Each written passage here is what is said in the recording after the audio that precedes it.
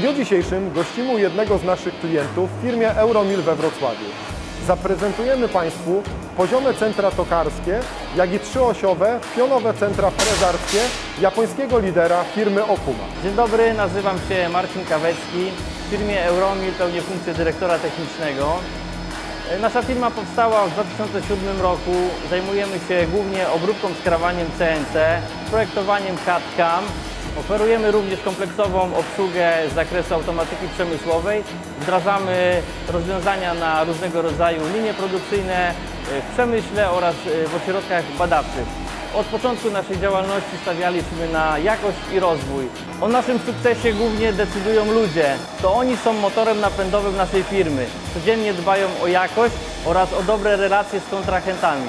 Aby zachować konkurencyjność, inwestujemy w nowoczesne rozwiązania. Dzięki firmie HTM ciągle rozbudowujemy nasz park maszynowy. Z firmą Euromil związaliśmy się w 2015 roku, kiedy firma zdecydowała się na zakup pierwszego centrum tokarskiego firmy Okuma.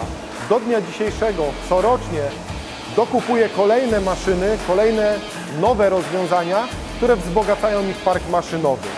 Marka Okuma zapewnia stałą i ciągłą jakość w procesie produkcji. Dzięki maszynom tej firmy jesteśmy w stanie produkować detale szybko i wydajnie. Na maszynach tych produkujemy części, z których później będą montowane m.in. samochody, samoloty, różnego rodzaju urządzenia przemysłowe. Obrabiarki Okuma wyposażone są w różnego rodzaju najnowsze rozwiązania.